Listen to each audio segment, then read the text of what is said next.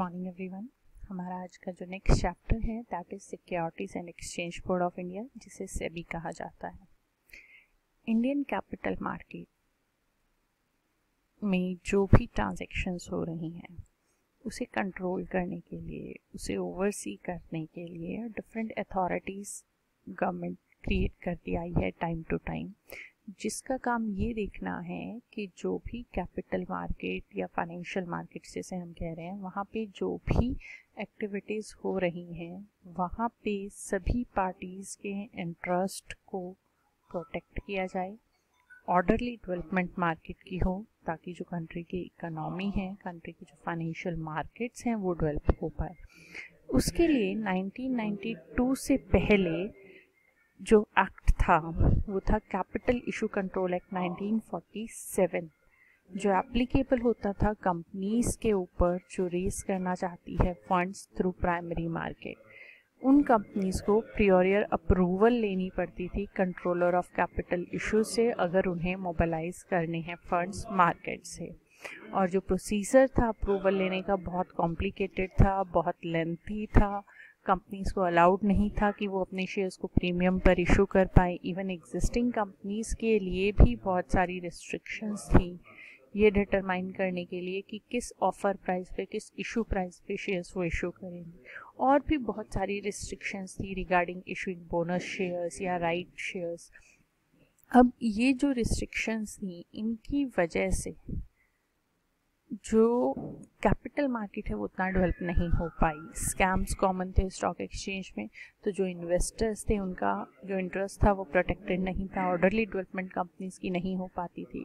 तो interest in जो है इन्वेस्टर्स का उसे प्रोटेक्ट करने के लिए और ऑर्डरली डेवलपमेंट करने के लिए कंपनीज़ की उन्हें उसे प्रमोट करने के लिए जो गवर्नमेंट है उसने एस्टैब्लिश किया securities exchange board of India जो सेबी था, वो इस्टेब्लिश हुआ 1992 में securities and exchange board of India act जब पास हुआ।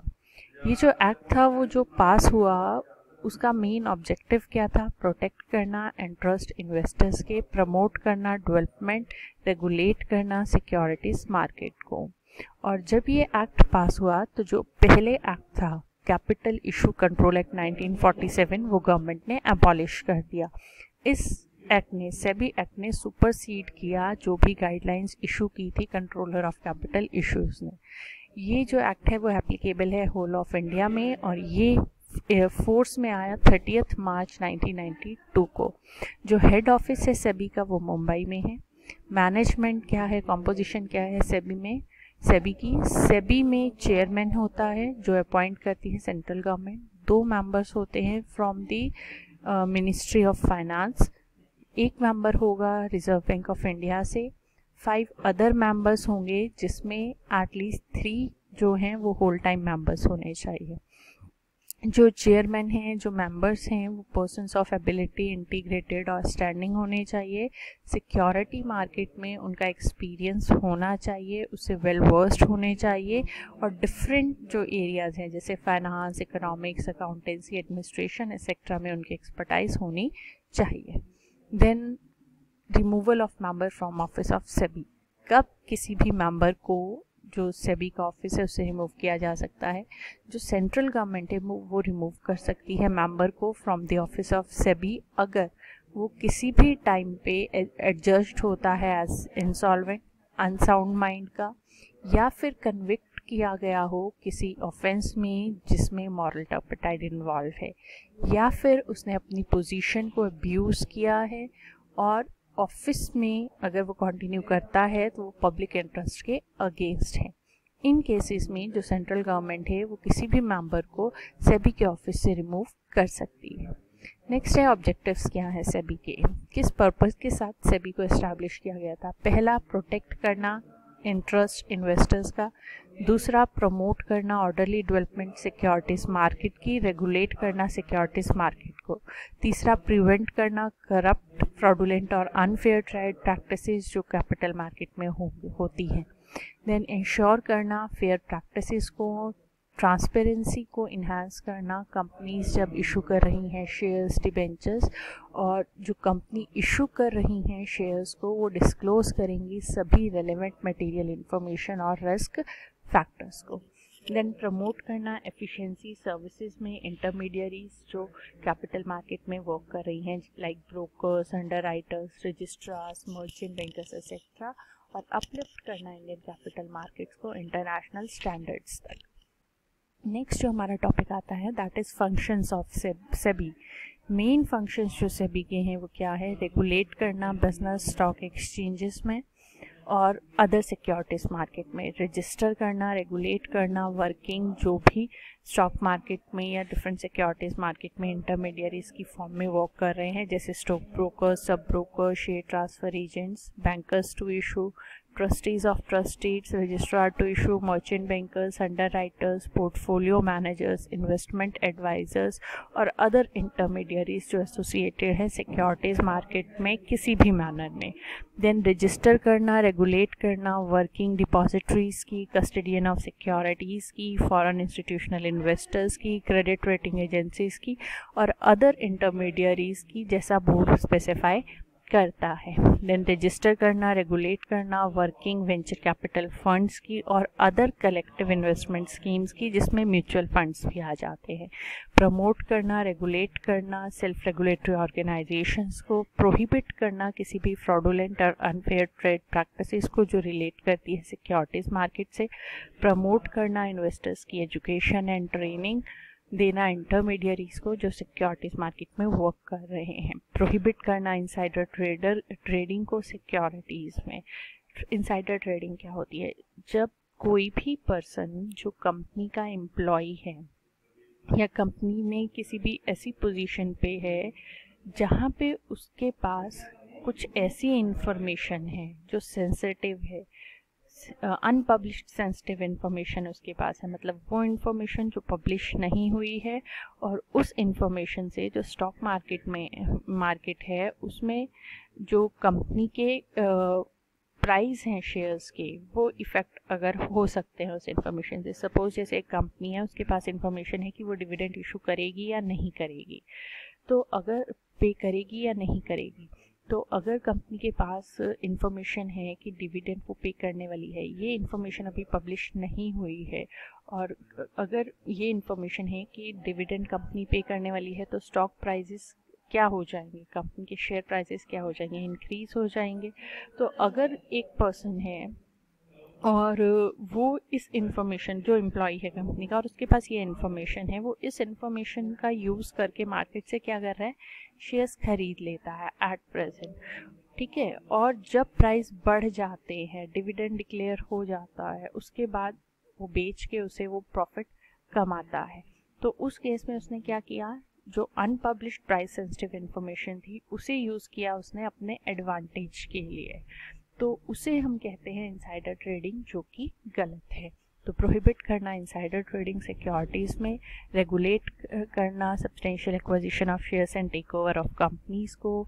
कोई भी इंफॉर्मेशन वो मंगवा सकती है इंस्पेक्शन कर सकती है इंक्वायरीज कंडक्ट कर सकती है ऑडिट कर सकती है स्टॉक एक्सचेंजेस का म्यूचुअल फंड्स का और अदर पर्सनस का जो एसोसिएटेड है सिक्योरिटीज़ मार्केट से। कोई भी इंफॉर्मेशन कॉल कर सकती है रिकॉर्ड कॉल कर सकती है किसी भी बैंक से या अदर अथॉरिटी बोर्ड और कॉरपोरेशन से किसी भी ट्रांजेक्शन के रिगार्डिंग जो सिक्योरिटीज़ मार्केट में हुई है और जिसके ऊपर इन्वेस्टिगेशन बोर्ड कर रहा है। परफॉर्म कर सकती है वो सच अदर फ़ंक्शंस या सच अदर पावर्स जो उसके पास हैं under the provisions of the securities contract regulation act 1956 जो उसे सेंट्रल गवर्नमेंट डेलीगेट करती है।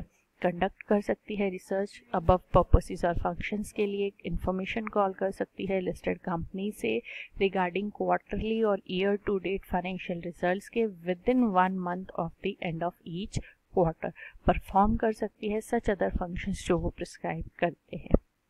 देन हमारा जो नेक्स्ट टॉपिक आता है that is powers of SEBI SEBI के पास क्या क्या पावर्स है? पहला है power to inspect accounting books registers and other document जो सेबी है, वो इंस्पेक्ट कर सकती है बुक्स को रजिस्टर्स को डॉक्यूमेंट्स को रिकॉर्ड्स को, किसी भी कंपनी के, जो अपने जिसकी सिक्योरिटीज़ किसी भी stock recognize stock exchange of India में जो लिस्ट अपने आप को करवाना चाहती है। स्टॉक एक्सचेंज इन इंडिया में जो अपने आप को रजिस्टर करवाना चाह लिस्ट करवाना चाहती है और बोर्ड के पास ये रीजनेबल ग्राउंड है बिलीव करने का कि जो कंपनी है वो इंडल्ज है किसी भी तरीके की फ्रॉडुलेंट और अनफेयर ट्रेड प्रैक्टिस को related to securities market then है पावर्स ऑफ़ कोर्ट सभी के पास सेम पावर्स हैं जो एक सिविल कोर्ट के पास होती है under the code of civil procedure 1908 in respect of the किस किस के मैटर में डिस्कवरी वो कर सकती है production of books of accounts के लिए वो बोल सकती है, या अदर डॉक्यूमेंट्स को किसी भी प्लेस किसी भी टाइम पे जो बोर्ड स्पेसिफाई करे। देन समन कर सकती है अटेंडेंस पर्सन को बोल सकती है कि आप अटेंडेंस अपनी लगाओ एग्जामिन कर सकती है उसको ओथ में। इंस्पेक्ट कर सकती है बुक्स को रजिस्टर्स को डॉक्यूमेंट्स को या रिकॉर्ड कंपनी के विटनेसेस को एग्जामिन कर सकती है। देन इसके अलावा अदर पावर्स जो इसके पास है, उसके पास पावर है सस्पेंड कर सकती है ट्रेडिंग किसी भी सिक्योरिटीज़ में, किसी भी रिकॉग्नाइज स्टॉक एक्सचेंज पे पावर है उसके पास किसी भी पर्सन को रिस्ट्रेन करने की फ्रॉम बाइंग सेलिंग और डीलिंग इन सिक्योरिटीज़ पावर कर सकती है। पावर है उसके पास सस्पेंड करने की किसी भी ऑफ़िस बियरर को जो स्टॉक एक्सचेंज का है पावर है प्रोहिबिट करने को करने की किसी भी कंपनी को कि वो इशू ना करे prospectus advertisement related to issue of securities power है स्पेसिफाई करने की रिक्वायरमेंट्स लिस्टिंग के लिए क्या होगी और ट्रांसफ़र ऑफ़ सिक्योरिटीज़ के लिए क्या होगी। देन पावर है डायरेक्ट करने की प्रमोटर्स को कि वो सारी मटेरियल इन्फॉर्मेशन डिस्क्लोज करे रिलेटेड टू लिस्टेड कंपनीज़ से भी प्रमोटर्स को कह सकती है प्रमोटर्स ऑफ़ कंपनीज़ को कि डिस्क्लोज करे डिटेल्स जो भी प्लेज्ड शेयर्स हैं लिस्टेड कंपनी के। तो ये थी पावर्स जो सेबी की हैं। इसके बाद जो ये नेक्स्ट टॉपिक है SEBI guidelines for issue of shares and SEBI guidelines for issue of debentures and SEBI guidelines for issue of bonus shares ये आपको नहीं करना है। नेक्स्ट जो हमारा टॉपिक आता है that is role of SEBI SEBI ने बहुत सिग्निफिकेंट काम किया है in protecting the interest of investor और orderly development and regulation of capital market तो जो रोल है सेबी का फॉलोइंग पॉइंट से हम डिस्क्राइब कर सकते हैं। पहला है इन्वेस्टर प्रोटेक्शन पहले कंपनीज़ क्या करती थी? सेबी के इनैक्ट होने से पहले जब कैपिटल कंट्रोल जो एक्ट था वो था इनैक्ट तो उस टाइम पे जो कंपनीज़ थी वो रेलिवेंट मटेरियल इन्फॉर्मेशन डिस्क्लोज नहीं करती थी और इन्वेस्टर्स को धोखा दे के दे के उनसे पैसा रेस कर लेती थी। लेकिन अब जब सेबी आ गई है 1992 में जब से अभी एक्ट इनैक्ट हुआ, उसके बाद जो कंपनीज़ हैं, उन्हें ज़रूरी है relevant material information risk factors को डिस्क्लोज करना, जो इन्वेस्टर्स हैं उनको। क्योंकि उससे जो इन्वेस्टर का डिसीज़न है, वो इन्फ्लुएंस होता है कि उसे उस कंपनी में इन्वेस्ट करना है या नहीं करना है। तो सेबी के आने के बाद जो इंटरेस्ट है इन्वेस्टर्स का, वो प्रोटेक्ट हुआ है। अब कंपनीज़ को सारी इन्फॉर्मेशन डिस्क्लोज करनी पड़ती है। जो टाइम पीरियड है अलॉटमेंट का रिफंड का, वो रिड्यूस्ड हुआ है। सेबी ने एक बुक भी पब्लिश की है, जिसका टाइटल है investor grievances rights and remedies जो एजुकेट करता है इन्वेस्टर्स को और उन्हें अवेयर बनाता है उनके राइट्स के बारे में। इसके लिए सेबी ने जो फॉलोइंग स्टेप्स हैं, वो लिए हैं। प्रोटेक्ट करने के लिए इन्वेस्टर इंटरेस्ट को वो क्या। इन्वेस्टर्स के अमंग अवेयरनेस क्रिएट करने के लिए और उनके ग्रीवियंसेस को रिड्रेस करने के लिए एक इन्वेस्टर हेल्पलाइन को लॉन्च किया गया है। Online investor grievances redressal facility शुरू हुई है through their website triple W dot watch out investors dot com के थ्रू सेबी ने लॉन्च किया है SEBI complaint redressal system web based grievance grievance redressal system है इन्वेस्टर्स के लिए और इससे जो रिड्रेसल टाइम है वो रिड्यूस हुआ है। देन सेबी ने एडवाइस किया है डिपॉजिटरीज को डिपॉजिटरी पार्टिसिपेंट को, कि वो किसी भी तरीके का चार्ज फ़ीस चार्ज नहीं करेंगे। जब एक शेयर होल्डर ट्रांसफ़र करता है अपनी सिक्योरिटीज़ एक अकाउंट से किसी दूसरे अकाउंट में जो कि अकाउंट है डिपॉजिटरी या डिपॉजिटरी पार्टिसिपेंट का, और annual maintenance charges basic demat account पे नील रहेगा। अगर आपकी जो वैल्यू है वो सिक्योरिटीज़ की वो फिफ्टी थाउज़ेंड रुपीज़ तक है। अगर फिफ्टी थाउज़ेंड से टू लाख तक है तो हंड्रेड रुपीज़ वो चार्ज ले सकती है।